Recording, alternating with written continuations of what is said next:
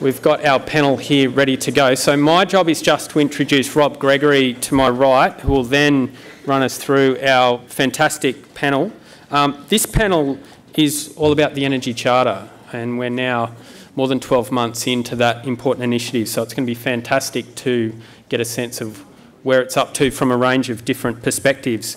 Uh, Rob will take the, uh, take the mic shortly, but as we, uh, we introduced uh, Rob this morning from Maddocks Law Firm, he's a partner at Maddocks, a long-time uh, friend of ECA, uh, really specialises uh, in commercial law and technology.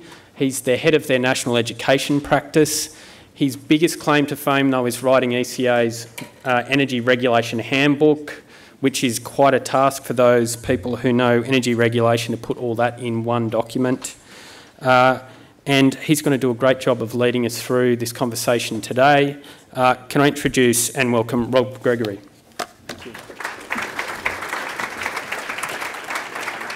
Thanks, Chris. And I, I, feel like I need to start with a disclaimer that um, somebody else did most of the writing on the National Energy Regulation Handbook, but it was a great project. It's something that we really uh, enjoy doing with ECA um, and look forward to reprising probably across the course of the year this year as well. So today's session is really around the Energy Charter, how it's working, how did it come to be, and what are we going to be looking at in the future we're really fortunate to be joined by CEOs and senior leaders of businesses that basically are the interface between consumers and energy. Um, we might also say that they're very fortunate to be in a room with so many consumer representatives, but people from the, the industry as well, to hear the points of views that I'm sure people are going to want to express today. So with that in mind, um, and to continue the theme from the earlier sessions, there is a Slido app. Um, please as questions occur to you, uh, put them in, and then towards the end, we'll definitely have a time to uh, address those questions. Can I just get a quick show of, uh, if you like, baseline knowledge? Who, who's aware of the Charter and feels that they've got a pretty good handle on what it is? Okay, I think at this point, could I just jump to the next slide, whoever's... Thank you. So the Energy Charter was really created in response to the degree of concern that has been uh, exposed in a lot of the consumer research that's been discussed this morning, that perhaps consumers, and particularly residential and small business consumers, are feeling disconnected, disengaged, disempowered when it comes to their energy choices. The, across the uh, course of the year in, in 2018, there was a lot of work put into developing the charter document um, and some of the supporting structures, including with Energy Consumers Australia, to enable the uh, Energy Charter to, to function as a quasi-institution. And that led to the publication of the document in uh, early 2019, January 2019. You'll see, if anyone's interested to grab it, that there's a URL for it there. The Charter really has the key purpose and it picks up on the national energy, national gas uh, objectives, which are the, the expressed in the national energy law, the national gas law, to promote efficient investment and efficient operation and use of gas, electricity for the long-term interest of consumers with respect to price, quality, safety, reliability and security of supply. So they're the sort of, if you like, the base level legal obligations, particularly on regulators, but indirectly on participants in the system set down by law. But there's an industry vision really to go beyond that, to together deliver energy for a better Australia. And the purpose of the Charter in terms of delivering that vision was really to progress the culture and solutions required to deliver a more affordable, reliable and sustainable energy system for all Australians and in line with community expectations. There were guiding values enunciated of being invested and making a difference. Be open, learn, improve, think big, be bold. And it's quite easy, I think, to be a bit cynical about that sort of corporate language. But the questions that we're here to talk about today is to the extent to which that's really genuinely been embodied. Drawing on that vision, purpose, and guiding values, um, five principles were enunciated, the most important of which principle one, but really literally in the centre of the diagram, is to put customers at the centre of the business and the energy system, and bearing in mind it's energy businesses that are signing up to this. We will improve energy affordability for customers. We will provide energy safely, sustainably, and reliably. So picking up on some of those values that once again coming through the customer research or consumer research. We will improve the consumer experience and will support customers facing vulnerable circumstances. And to avoid what Rosemary described this morning of, of shelfware, yet another worthy set of documents that get put on a shelf and then ignored, there's a, a series of actions and steps to develop an accountability mechanism for this. There is, in fact, an Energy Charter Independent Accountability Panel. So in uh, September last year, 2019, each of the 18 members of the Charter delivered disclosure statements which were, which were published, and the Independent Accountability Panel reviewed those disclosure statements, conducted a range of um, consumer and other activities to analyse them, and published a report that really uh, compares them and picks up on a number of, in fact, six very key themes. The first is to know your customers and communities. The second is to go above and beyond compliance.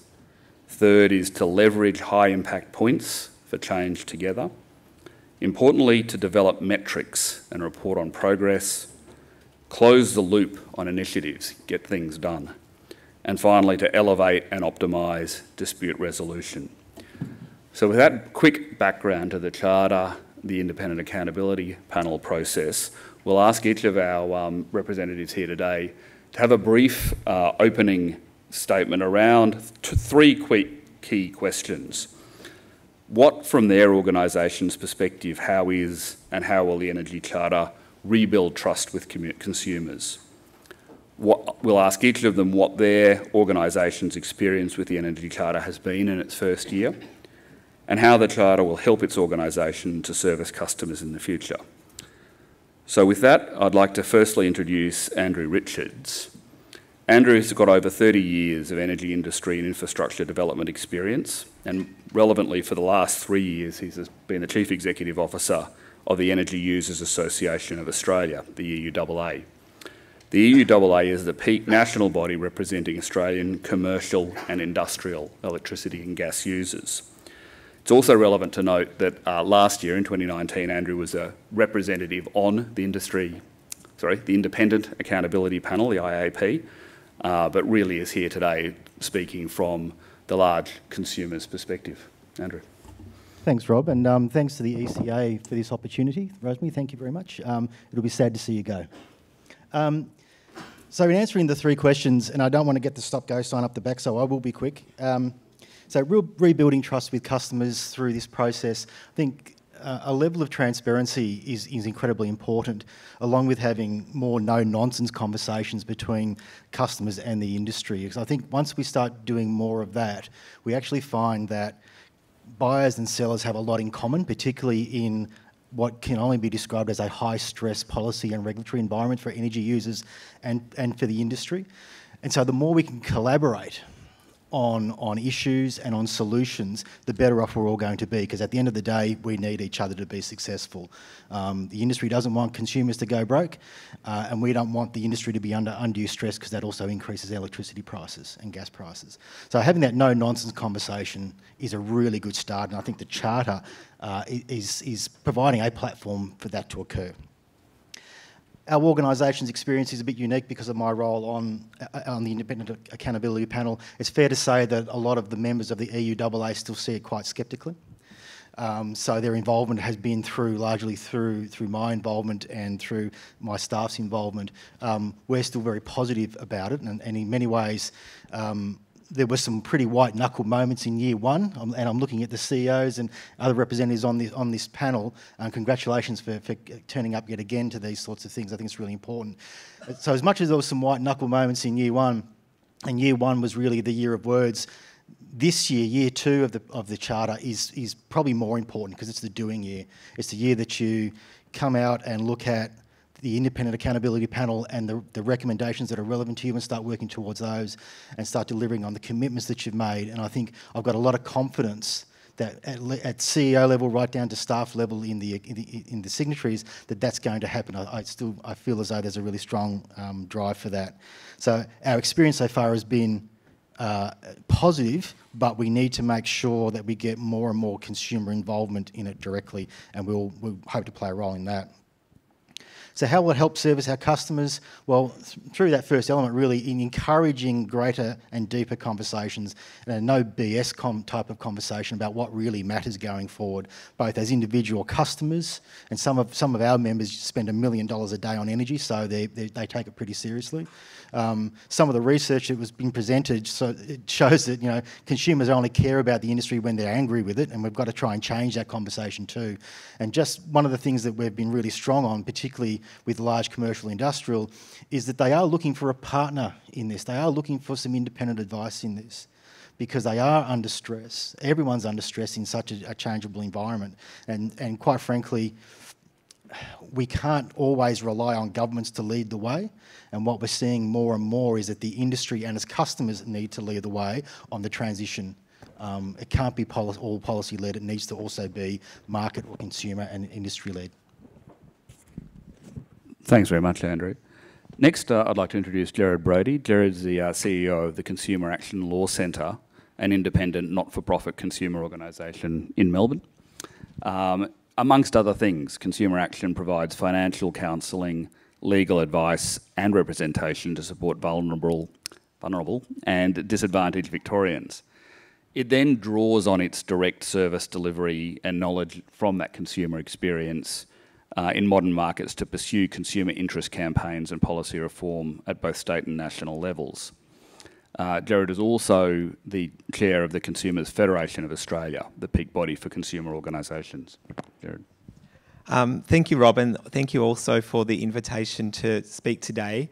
Um, I'd just like to make two, I guess, interacting, uh, raise two interacting issues in my opening remarks. The first isn't directly related to the charter, so if you'll indulge me, but does relate to, uh, and it recalls that very generous welcome we had this morning um, from Eddie on, on, behalf of the Gadigal people of the Eora Nation.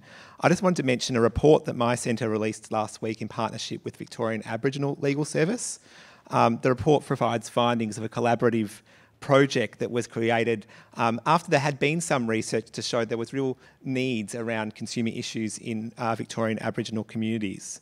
Um, through the project, our, our teams made uh, 15 community visits, reaching 800 people over, over, the course of the year, and more than 80 legal casework files were, were ran.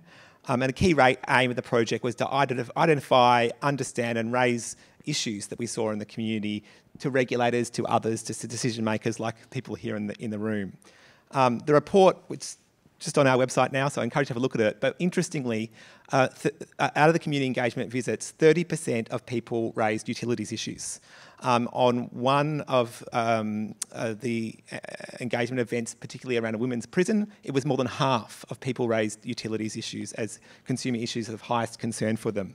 They were things like um, experience of disconnection or threats of disconnection, high and unaffordable bills, uh, there was water restrictions raised, um, confusing uh, marketing and high pressure sales, um, and people's lack of understanding or not being informed about the role of the Ombudsman scheme, for example. I just thought I'd share this because I think it's important in you know the week following the closing the gap report to Parliament that showed there's still um, that those targets aren't, aren't, aren't being met. Um, that we're all, all aware that there is a long way to go in our sector as well. And I hope businesses can look at that report and lessons in developing initiatives under the Charter in the future. Um, my second point was more directly related to the Energy Charter, and I was part of the Energy Charter's user group. Um, this was a group of consumer representatives, um, Andrew as well, um, which we had the fortune of participating in over the last year. I should at this stage call out my colleagues that were involved, ably led by Chris Alexander, and many of them are here today. Um, I really learned a lot from their contributions. Um, I, I must say, at the outset of this process, I was probably less than confident that the Charter would make much difference. Um, but I think I've been pleasantly surprised to see some real buy in um, at very senior levels of um, industry and some promising initiatives. Um, I think a key factor has been the accountability panel, uh, which ensures that level of scrutiny, not only on specific commitments, um, but also importantly, whether the charter is having the desired impact around culture change, um, and particularly a focus on issues um, such as customer vulnerability and fairness. I think it was helpful to see the panel's report and see what it said about you know, some of the challenges. So the difficulties in comparing the information provided and the challenges they had around me measurement.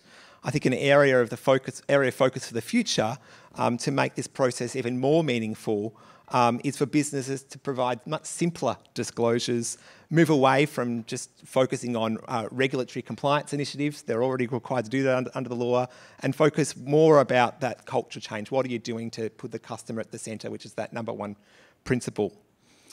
Um, the other area of focus I would really encourage is uh, greater, uh, uh, encourage greater commitment is, um, and perhaps something we can discuss more in the panel session, uh, issues relating to customer vulnerability and fairness. Um, outside the energy sector, I was really impressed just last week to see the CEO of Telstra uh, focus on these issues in a speech that he gave, um, and really signaling a change of strategy from Australia's biggest telco. He actually spoke um, in favour of a, a new re reform in our consumer law to have a general um, provision around fair conduct. Um, and, he said that these, you know, simplest um, uh, th that sort of change could have a real impact for their business and their customers. Um, I look forward to talking more about that on the panel. Thanks, Gerard. Our next panelist is John Cleland, who is, or since uh, July 2016, John has been the CEO of Essential Energy here in New South Wales. Essential Energy has a customer base of 855,000 customers across roughly 95% of the land area of New South Wales. And John recognises the importance of energy as a key economic enabler for regional, rural and remote communities. Interestingly for us, our conversation today, John is also the chair of the CEO Council of the Energy Charter. So John, perhaps you would uh, like to give us your initial comments. Thanks, Rob, and good afternoon all.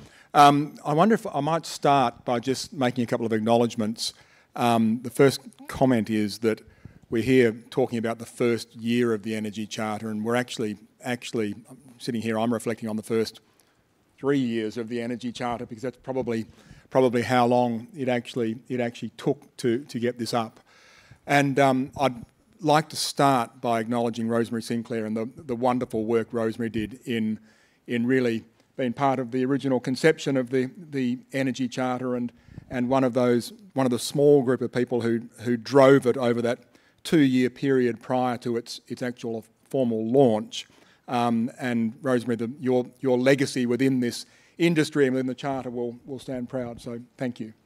Um, I'd also like to acknowledge Sabine Heindl, the Director of the Energy Charter, and Nevenka Codevelle, the Chair of the Industry Working Group, who were once again instrumental in the original, the original conception of the Energy Charter and, and getting it up and launched last year, and then, of course, stewarding it, it through its first year. Um, the Energy Charter, and sorry, I'd also like to, almost a terrible mistake there, I'd also like to acknowledge the Essential Energy team who have been instrumental in the Energy Charter and particularly in preparing our, our first year's disclosure report. I always do make a point of mentioning my own, my own team, but I'm particularly doing it today because they've all accumulated on one table right in front of me, sort of as subtle as bricks. Um, um, now I've completely lost my train of thought. So, and I'm sorry, Rob, I'm a little bit off, off track here, but um, I made some comments in the media last year about the Energy Charter and really why it came about. And in so doing, I acknowledged that this industry, the energy sector or the energy industry, has, has not got things right over the last 10 or 15 years. And outcomes for customers have been adverse in terms of price and reliability in particular. And so a big part of the Energy Charter is actually the industry coming together and acknowledging that fact. And if you like, building building the case around what this, what this fundamental change in the sector is all about. the fundamental change in the sector is all to do with decarbonisation and decentralisation and progressively digitisation. We all, we all know that and we talk about it regularly, but it's very important that we as an industry seek to have others understand the enormity of the change we're working through um, and the fact that Australia is not unique in having made a bit of a mess of this, this revolution and transition. Um, other, other jurisdictions globally are going through exactly the same, exactly the same process um, with exactly the same outcomes.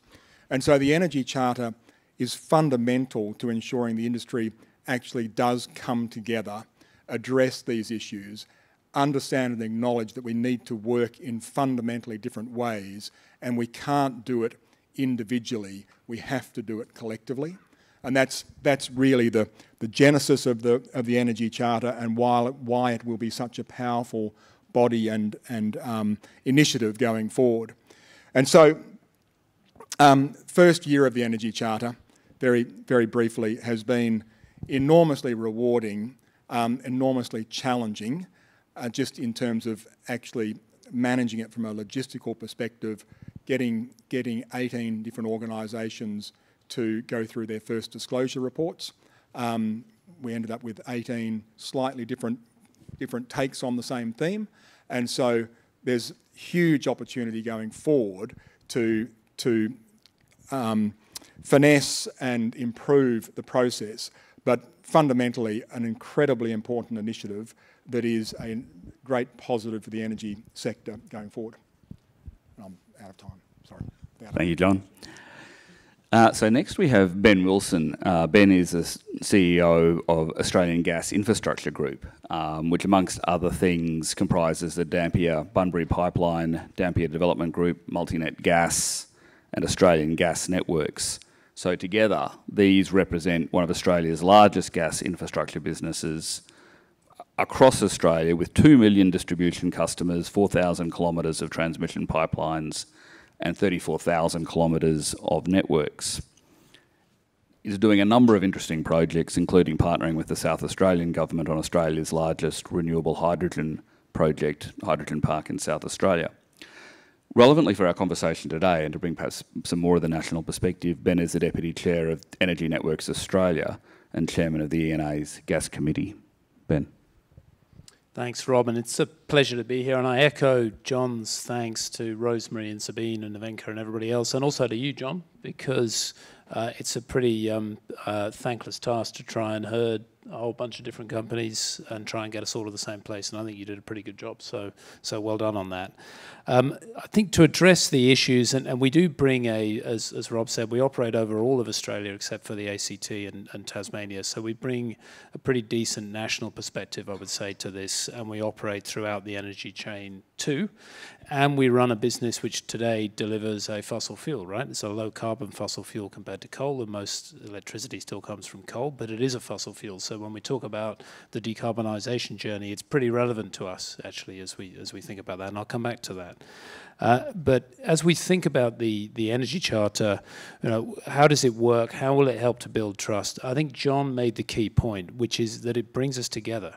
I think as individual businesses, we all like to think that we're trying to do the right thing across the three the three sides of the energy trilemma. We're trying to deliver for the customer, but actually we can't do it alone. And the customer's experience doesn't depend on any single one of us. It depends on all of us: the producers, the generators, the transmission companies, the grids, whether electricity or gas, and the retailers. And actually, to deliver for the customer, we all need to work together. And that doesn't happen automatically in this disaggregated energy system. So I think this is a really, you know, unique um, initiative in the industry, and, and not one that's replicated in many places around the world to try to bring us all together and, and align us. So that that is what I'm trying to get out of this, and I think what everybody else is trying to get out of this too. Have us all pull together for the customer what's been the experience so far? Um, I think it's been a it's been a positive uh, journey for us. Uh, like I said, us along with everybody else, I think we like to think we're doing a lot of good stuff. And year one has been an opportunity to set that out and explain how the things that we're doing relate to the Energy Charter principles. But it's also forced us to be honest, hold ourselves to account. What's not working yet? What's not perfect? You know, yes, our costs and our prices are lower than they were five years ago, but can they be lower still in the future? You know, are we doing enough on the sustainability journey? You know, we're doing a lot of stuff in the hydrogen space, but it's still at the sort of project phase. It's not at the mass rollout phase. And, and do the public know about what we're doing? Do they understand it? How's our customer satisfaction scores, right? Generally okay generally okay, but are they are they perfect in every area? No, they're not. So what more could we do there? Um, the um, one of the other panelists mentioned vulnerable customers. I think that is an area where there is a significant discussion that needs to happen as to, you know what should we be doing? What do we mean by vulnerable? Financially vulnerable, physically vulnerable. Maybe English is not your first language and, and you don't understand how the utility industry works. How do you engage with us? What do we mean by vulnerable? What do those different vulnerable groups need? And what's our role as an energy sector as a whole, as opposed to government or, or other parts of the, the, the society? And within the energy sector, what's the role of the retailers, the networks, and so on? So it's forced us to challenge ourselves. Uh, what do we want to get out of the charter going forward? Again, I think the point has been made. Year one has been, I think, a good show and tell and, and a holding to account. What we now need is simplicity, clear targets, so that we can say in a year from now, two years from now, this is what's different for the customer compared to if we'd never done this. That's, that's what we're looking for this. Thank you, Ben. Next, we have uh, Andrew Bills. Andrew is the, uh, has been the Chief Executive Officer of CS Energy since uh, 2018. CS Energy is a Queensland government-owned um, coal and pumped hydro generator and a 50% owner of a retailer based in southeast Queensland, I think is correct, Andrew? Um, prior to joining CS Andrew, Andrew worked for Origin Energy as a general manager of LPG and health, safety and environment, and across the energy markets division, including Babcock and Brown Power before that. He's also currently a director of on the board of the Australian Energy Council. Andrew. Thanks. Um, I'll just summarise what's been said before about you know what the energy charter means because I think it's been well described by prior speakers. But you've got every part of the value chain sitting on the pay, on the stage here, and I think that's what the energy chart is about. Uh, it's not just me looking at my piece of that; it's the whole industry looking at where where the customer sits in that. Because historically, we've just looked after our own interest and where we're making a profit in that. And then it's forced, uh, and technology's been a part of this. Technology has scrambled the value chain because the customer is, mo is mobilising right across that value chain. And I think it's coincidental. It's not coincidental that we're actually looking at this holistically because of what technology is forcing. Um, so for me, it is very much the transparency, the holistic perspective, putting the customer at the centre of everything. For a generation business, um, in our wholesale generator, and you know, I, I came from a mass market retail background.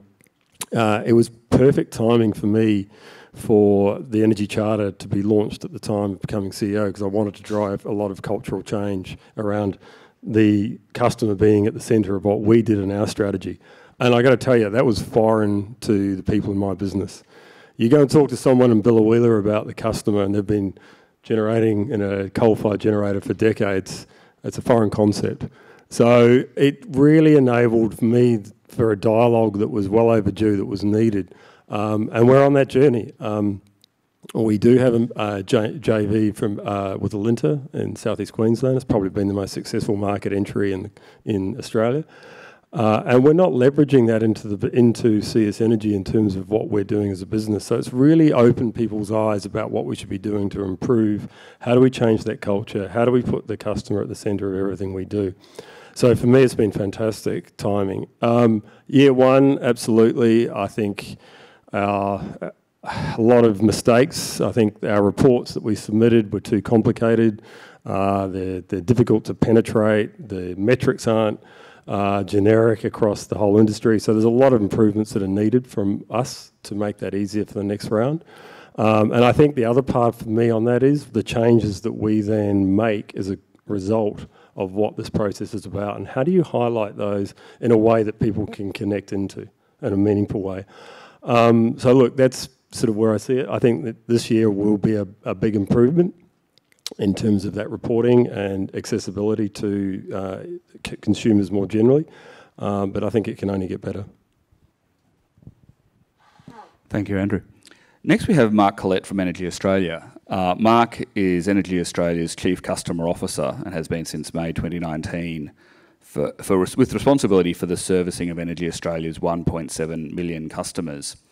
Energy Australia is interesting in this space because I noted that the um, independent accountability panel called out um, Energy Australia Managing Director Catherine Tanna's comment from uh, November last year, quote, you have to be living under a rock not to appreciate that customers want better service and lower prices. Perhaps, Mark, as you're addressing the question, you might uh, the, the questions, you might want to reflect on Catherine's comment as well. Thanks, Rob, and thanks to ECA and Rosemary for the opportunity to talk today. Uh, at Energy Australia, we start a lot of our meetings with customer moments, where we just look at um, customer interactions, what's gone well or not gone well, and to give a sense of how the Energy Charter can make a difference. Um, I'm going to talk to two customer moments, one from about a decade ago and one from last week. And the first one from a decade ago was when I was listening to a call in our contact centre, and uh, a customer called up to get connected to electricity and they said, "Oh, you, you are the guys. You supply electricity, don't you?" And the um, contact centre agent at the time said, at about this pace, a, a, very legally accurate and completely confounding sentence, which was, "We don't supply your electricity, but we retail your supply."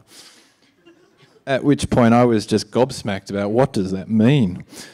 And I think everyone's had a conversation at a barbecue um, when you're in the energy industry and they say, well, you supply electricity, don't you? And you're like, well, sort of, but there's networks, and there's poles, and there's wires, and there's generators, and it's all really complicated. And customers are looking for simplicity amongst all that complication. And one of the thing, the areas Energy Charter makes a difference is it brings simplicity to that conversation and says, well, let's start with the, the customer and take away all that complexity. The second area um, and second customer moment I wanted to share was a, conversation I had with a Queenslander last week. And we changed our feed in tariffs. We reduced our feed in tariffs um, on the 27th of January. And uh, it wasn't popular with our solar customers in Queensland.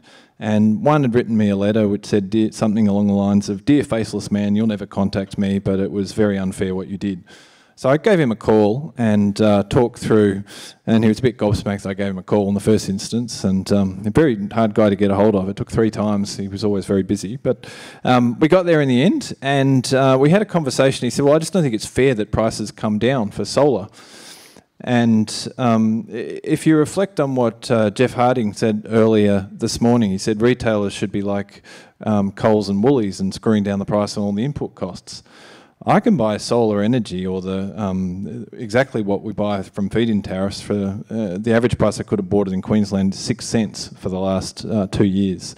We've been paying 16 cents. So if you just look at that in isolation, you say, well, for all the customers who use solar, should I buy it at six and charge them six, or should I buy it at 16 and have a feed-in tariff that's that's higher? And uh, it's not to say that we did do the right thing or the wrong thing, because everyone will have a, a perspective on feed-in tariffs and whether they should change. But it does come to it needs to feel fair for customers. And at times when um, individual inputs change or policies change or things happen, it hasn't felt fair to customers.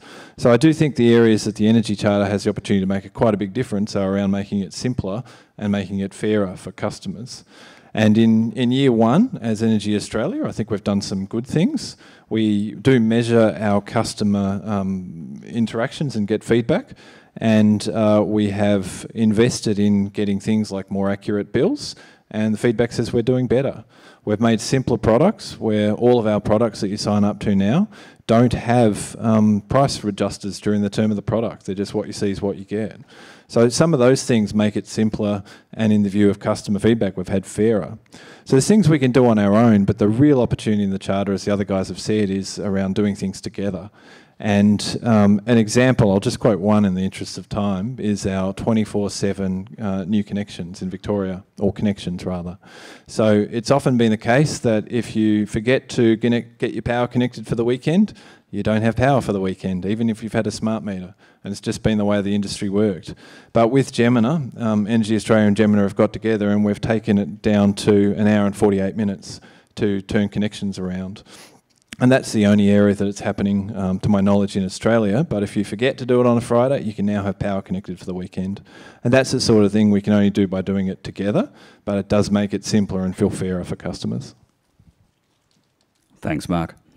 Um, as has been said many times, Rosemary needs no introduction, but other than once again to, to join with everybody else and say thank you so much for what you've done over the last many years, uh, particularly in the energy space, but interested in, in your perspective and ECA's perspective on the Energy Charter so far.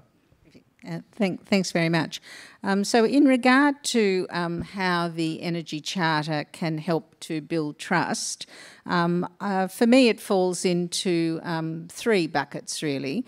Uh, the first is the Energy Charter is a vehicle to put the sector back together. Um, the sector has been disaggregated for all sorts of policy and regulatory uh, reasons. Um, but the fact of the matter is, all the pieces come together on the consumer's bill. And for a long time, the consumer hasn't been happy with what's landed on the bill and hasn't really known what to do about that. That notion that came through in the research of consumers feeling stuck. So, the first important thing I think in building trust is for the sector to take the step to put itself back together with everybody uh, sharing and aligned in their pursuit of better energy consumer outcomes. The second and very important thing from my perspective um, is that the involvement of the companies in the Charter started with a commitment from each of the CEOs of the companies involved. And to be really honest, given that I know I'm with a group of friends and um, nobody's going to say anything outside this room, uh, that was uh, for us absolutely critical. Um, you'll recall the period when the Charter was emerging was a pretty tough period in terms of corporate Australia and consumer reaction to outcomes um, seen through the banking sector. And there were those who were deeply cynical uh, about the whole charter uh, initiative. For me, it was terribly important in terms of an authentic approach to rebuilding trust that the CEOs of the companies involved personally committed to the charter. And that's actually what happened. The charter started with letters from the CEOs of the companies sitting along this platform and a number of others saying, I, name, uh, commit to the principles and processes of the Energy Charter signed personally by those CEOs.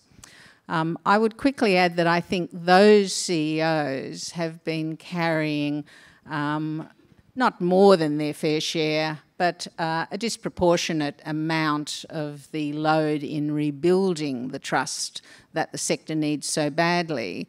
And I would really encourage any companies who are not members of the Energy Charter to have a very serious discussion at the CEO level about becoming a participant in the Energy Charter and building on the excellent work that's been done by the Foundation CEOs.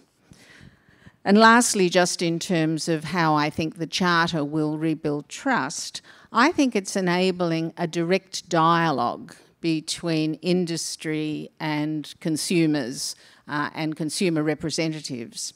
And I think the best way for you all to see the real value of that is to go to the Charter website and um, pick out any of the um, recordings of the CEO meetings uh, that were talking about the disclosures. Pick anyone you like. And what you'll hear is a CEO talking passionately about their business and their customers and the outcomes they want for their customers through changing the culture of their businesses. So it's a lens right into the heart of these businesses, not mediated by a regulatory process, not mediated by a policy position. Um, it's a lens that goes to the, the real passion these CEOs have for their businesses and, their customers. Um, and it's, it's an invaluable picture that brought to life uh, the rather more formal and, dare I say, compliance focused uh, disclosures. Thanks, Rob. Thank you, Rosemary. So, what I might do, and if we could just switch back to the uh, charter principles slide, thanks. Um, start with an observation and, and perhaps a somewhat provocative question to get us going, and it's to go back to a, a threshold question, which is that the charter, if we get the slide back, oh, it is, sorry, I've got a different thing here. Uh, the, the charter literally puts consumers at the centre. So this is, a, this is actually part of the Charter document. Yet the research we've seen today shows that despite being distrustful of and dissatisfied with the energy supply sector, all groups are still largely disengaged, disinterested, and feel disempowered. One of the most uh, impactful graphics I saw today was of the, the two uh, needles, you know, with consumer interest far to the left, almost on empty, yet consumer frustration far to the right, almost fully, fully frustrated. So the question is, um, as a threshold question, should consumers really be at the centre of energy regulation the way the law requires, business strategy typically would suggest? I is that a valid assumption? If so, why? If so, why not? And John, I might start with you if that's okay. Sure. um, the simple the simple answer to the question is yes, absolutely, unequivocally. Um, customers customers have to be at the centre of everything the sector does because ultimately, this is a statement of the blindingly obvious, but ultimately customers pay pay for the service. They are the, they are the end consumers and the only the only source of revenue, and so they, they do have to be at the centre, um, and that's and that's always been the case. It will be it will be increasingly the case the case going forward because of in once again to oversimplify because of digitisation and the greater empowerment of customers. So customers will have have far greater data and they will have far greater optionality in terms of how they how they obtain, how they utilise and how they trade electrons or energy, energy per se. Um, and that, that is the, the sort of element of this energy revolution that is the least progressed and will be the most impactful. And so customers, customers fundamentally do have to be right at the core and every decision made across the industry has to be hearing, hearing the customer voice up front and keeping the customer front and centre at all times. Otherwise, there will be missteps and there will be, frankly, there will be, there will be um, you know, wasted investment if, if, the, if the views and requirements of customers are not, not taken into account. Um, definitely. Uh, yes, we should be. And it's not only just at the centre of the energy industry's world, but at the centre of the regulators' world and the centre of the, of the COAG Energy Council's world. Um, because uh, you know, building a coal-fired power station in Collinsville is not in the best interests of consumers, and using public money to do that is definitely not in the best interests of consumers. Um, and and John's right. We we pay the bill, and in, in, the current environment, we take all the risk as well. And and with such an environment of change, we, that can't continue. And I think again, go back to one of my original comments around the conversations between the industry and its customers, um, I think a lot of the industry, is starting to recognise that too. That you know, it's, it's there's a level of, of fairness in play here that with so many new market entrants coming in, um, who are taking value out of the market through profit, and that's fine. They should do that, but they should also pay their fair share of the of, of the cost of, of, doing that and take their fair share of the risk. Um, so the old ways need to change, and this is one of the partnerships that I hope the Energy Charter can start to to foster. Is that we talk about these issues amongst those affected parties and then start to coalesce around what the what the ideas look like to improve it because it's it's in our best interest and it's in their best interest to get a better outcome that keeps people in business that ensures the lights stay on and all those sorts of things and the, the, the charter itself focused a lot on vulnerable customers at the bottom end. That's not derogatory, but at the, the smaller customer end. And that is absolutely right.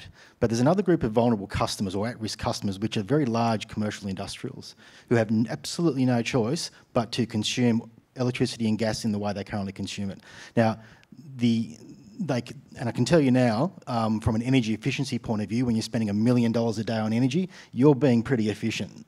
Um, but they really, and, and to change from that fundamentally is basically you bulldoze the facility and you start again, and, and that's so that's they're not going to do that. So they're kind of trapped in this, and they're the ones who, who also need a bit of help on their way through this journey as we transition the energy market. Otherwise, you know, this, this is significant job losses if we don't get this right. So again, coming back to the charter, I hope that the charter can, can foster those relationships and have, an, have a bit of an ideas incubator, if you like, and we can then go to governments and regulators to say, look, buyers and sellers are in agreement on this thing. We need to fix it. We need to fix it in this way that has the customer outcome at the centre. Ben, yeah, I was going to say, Ben, from a networks perspective, how, how does a networks business put customers, end customers, at the centre? Sure, and I think the, the, the question is really customers are at the centre, but their engagement is low and they're frustrated. Is that a paradox? Is that um, contradictory? Does it make sense? And I think it, it, it, you can see the way through that. Customers absolutely should be at the centre, but the definition of success is to make it easy so that the customers can be lowly engaged and get on with more interesting stuff than you know paying for their utility bills, which is pretty boring right? Then you need to find a way to do that. I think it's important to recognize where we get it right and where we don't get it right. We're in the middle of doing our largest ever customer engagement exercise in the context of our South Australian review at the moment. And it's quite clear, firstly, the level of understanding. Gas networks are even one step further removed, right? You know, you move into a house or an apartment, there's already a gas connection, it always works, you never think about it if you thought about it, you know you can switch retailer, so somebody else must own the pipes, but you never, you don't think about it, right? What do we do well? It's quite clear when we engage with customers, safety and reliability are the most important thing because everybody's aware that gas is a fuel, right? It burns. So safety, and reliability are very, very important. But the trust is high the customers, that, that's their most important thing. But they're not worried about that. They trust us. They know that we've got that under control. Therefore, what do they worry about? They worry about the bit which is high maintenance, which is if they do need to deal with us, how's the customer service, and what's the price and affordability like? So the model, I think, for networks, and, and I think this applies to, to all networks, traditionally we do do the safety and the reliability very well, actually, and just go to some other places in the world and, and that will remind you of that. What we need to do is make the price, the affordability, the customer service experience like the safety and the reliability experience. I think that's what it means to put customer at the centre, make it easy for them. Gerard, what's your perception of the customer experience? Are they seeing a change as a result of the charter processes, which, as John says, while it's been, if you like, visible above the surface for a year, it's really been going on for longer than that? Uh, I think it's early days. I think that it's difficult to say that the you know the general customer in the community could tell much difference today. But let's hope that you know over time that will change. I mean, in terms of your initial question about the customer at the centre, I mean, absolutely, of course.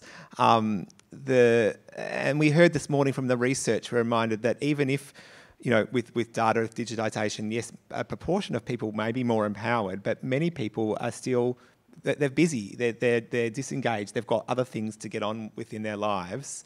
Um, and I think that uh, you know a, a, corporate strategy that has the customer at the centre, a regulatory system that looks for customer outcomes, um, are key to ensuring um, the trust that's necessarily that means that that disengaged customer is not ripped off. I think in the past we've had uh, a retail market structure that have profited from the disengaged group. We've had uh, a network arrangements where customers don't even understand that there are networks, so they're completely disengaged.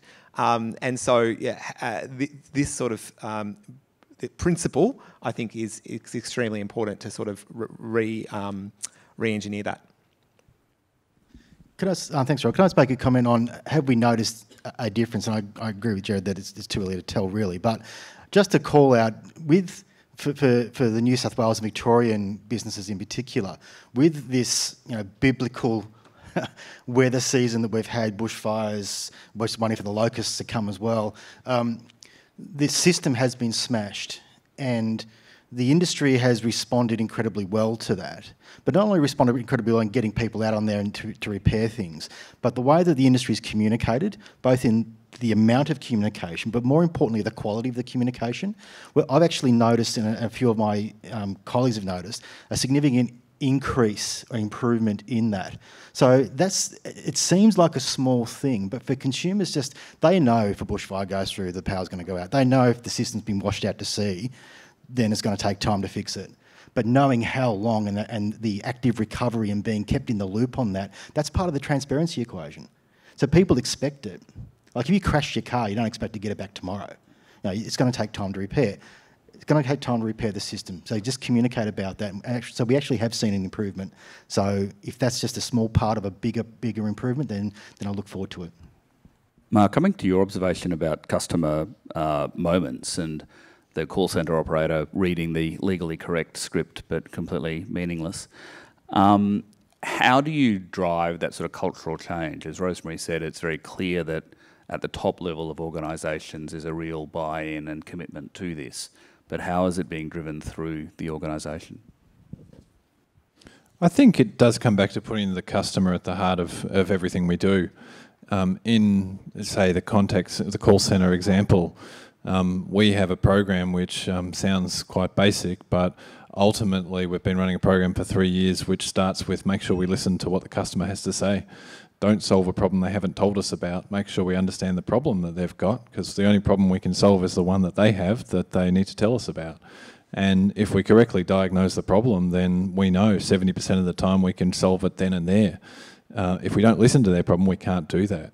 So in order to, uh, that sounds like something that's quite basic, but when you've got something like 2,000 people who talk to customers and you want to get the same experience to everyone, um, then you've got to design a machine that actually makes that happen. And so we have um, all sorts of things designed to do that. We have the scripts that are designed to ask very open questions to make sure that um, people um, ask those open questions and test with the customers. We have the team leaders who have a certain amount of their time every week to go through and just check um, what did they say on the calls, how did it work, coach the coach the team. We have quality assurance people who go through and look at how we're asking questions, not just all the technical details, but just how are we doing it? Are we open enough uh, to make sure we get those answers? And then we follow that up by making sure that from the board down, everyone sees the results that come through and the satisfaction scores from the customers and the verbatims and listens to some calls to see that uh, it's all there. So it's it's really about yep. The intent is to have the customer there at the centre of everything we do, but the way the organisation works needs to be designed so that that's impossible to not achieve it. Andrew Bills, your comment about the uh, the, the coal the coal powered fire coal fired power generator technician reminded me of a something I saw in a documentary once about a American aircraft carrier, and the document documentary maker asked a young fighter pilot do you feel like a warrior? And the fighter pilot said, yes, absolutely, of course I did. And then they asked the same question of a, um, a sailor whose job was deep, deep, deep in the bowels of the ship, literally responsible for the garbage ejection machinery. And you can see this guy think about it for a moment goes, yeah, yeah, I am, because without what I do, it can't work. How do you, in that sort of cultural piece, make sure that everybody understands that really what we're doing here is a customer service, customer centric activity? Yeah, look, it, it, it's in multiple layers and levels to it, and I'll start with you know fundamentally keeping that power on, like over the summer period, making sure that it's there 24/7 has a massive impact on what customers end up paying for the cost of energy, right? So making them understand that connection. So to me, it's around transparency. So look here's what the demand was, here's where prices are going, here's what our impact was on that. So you can relate it to the individual level. So that preventative maintenance or that particular initiative that they put in place to make a change has a direct outcome on price. So that's that's part of what you, you, have got to bring that to life more and more and more. And my realization was that, that that transparency to what was happening just wasn't wasn't occurring, right? So maybe uh, in in in the metropolitan you know office, but not out in the region. So getting that access through. I think the next part of it is actually having the dialogue, actually having the discussion, which is, and, and this is where it's a double, a little bit of a double-edged sword. So when you talk to someone who works in a coal-fired power station for many decades, renewables are seen as a threat, and uh, they're quite defensive about it, a lot of them. And I, I kind of get that because they've got lives which have been based in these regions for many years, and they've got families, and they've got you know, and th these are these are remote areas, and they're like going, well, what happens when this place goes? What do I do?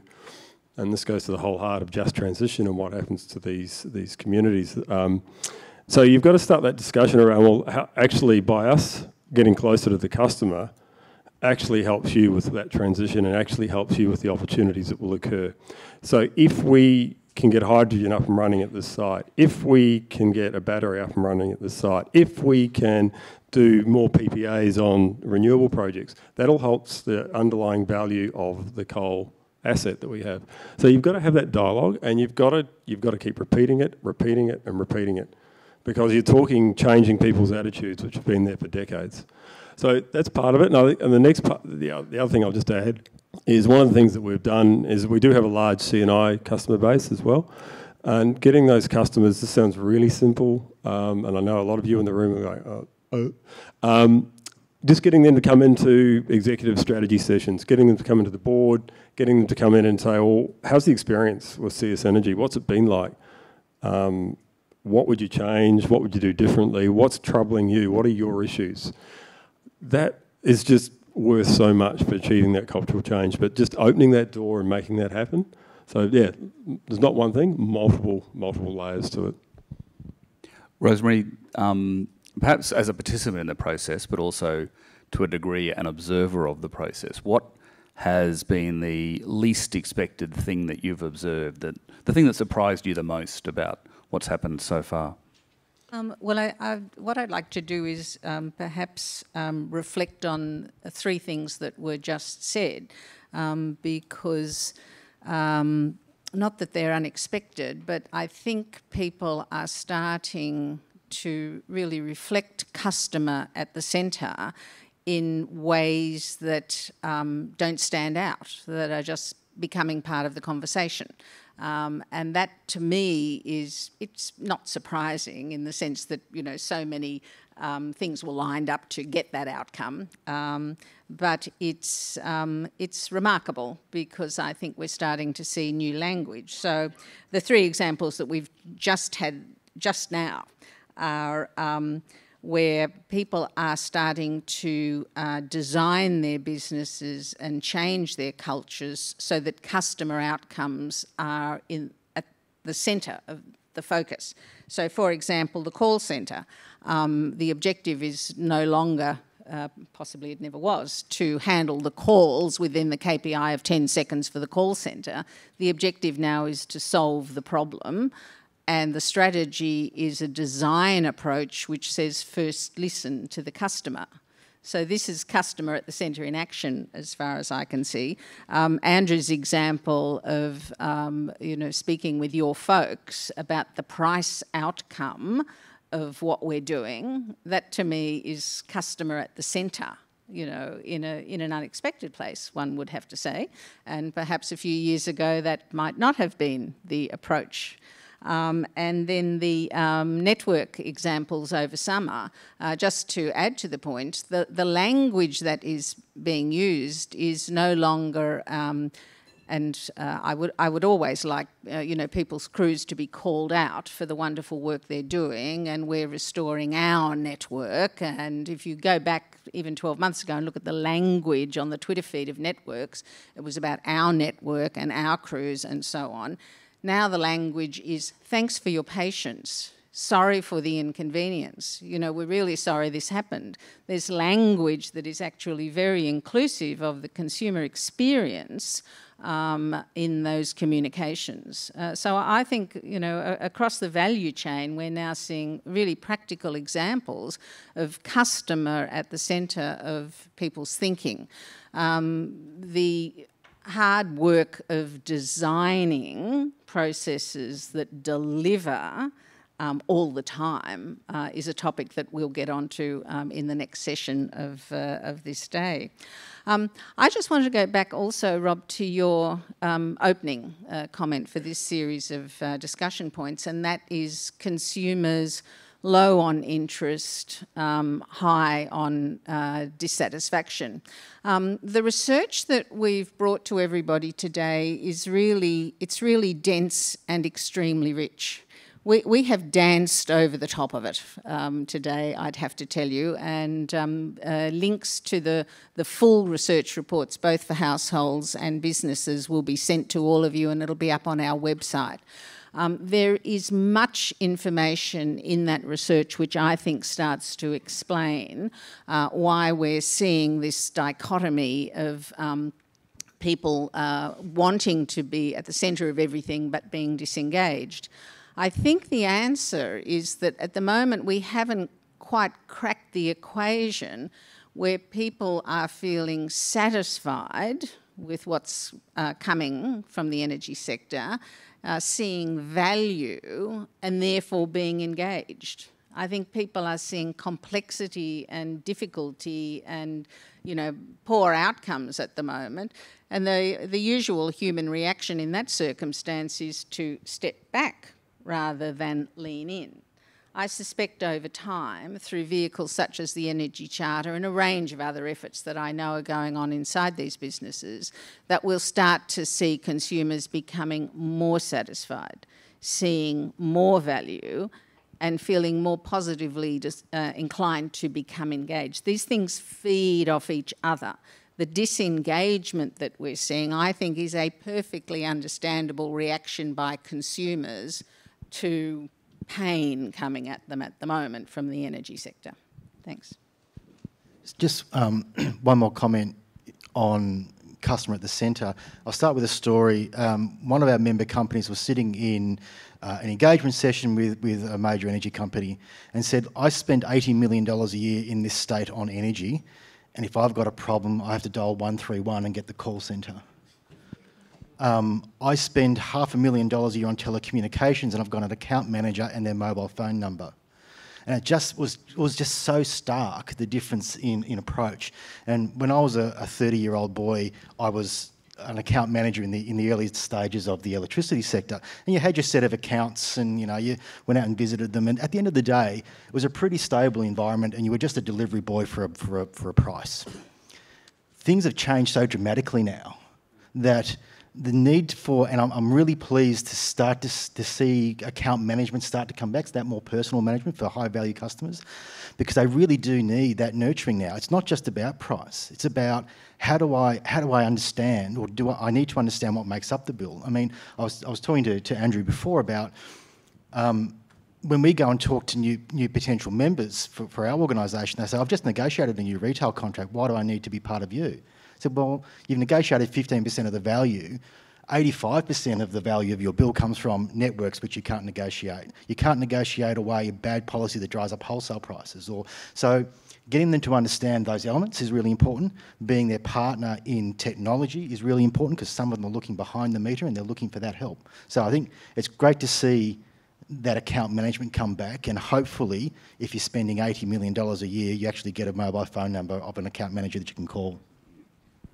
I, I want to come back to uh, two of the themes that were developed in the Independent uh, Accountability Panel's report around the development of metrics and then reporting on progress and closing the loop on initiatives, and particularly perhaps in the frame of vulnerable uh, customers. And I guess in this context, to pick up Andrew's point, many business customers are vulnerable, but I will speak more so about residential and residential customers.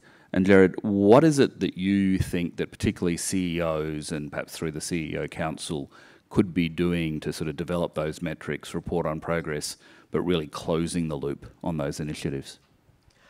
Um, so I think that customer vulnerability uh, needs to be thought about in a in a really different and broad sense.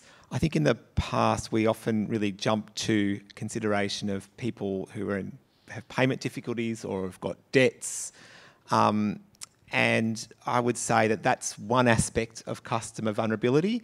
And in fact, um, people, uh, nearly anybody can be vulnerable at any point in their life. If something calamitous happens to you, um, you know, even the example of someone whose uh, partner passes away, so they're in bereavement and they're having to change addresses and bills and contacts um, uh, they may actually have some resources in terms of money to pay the bill, but that interaction is at a time of severe vulnerability.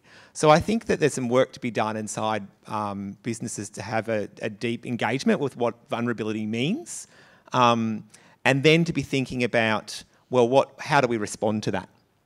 I mean, one of the ways we encourage businesses to respond is to be taking sort of a universal design approach, recognising that customers can be uh, vulnerable at any time.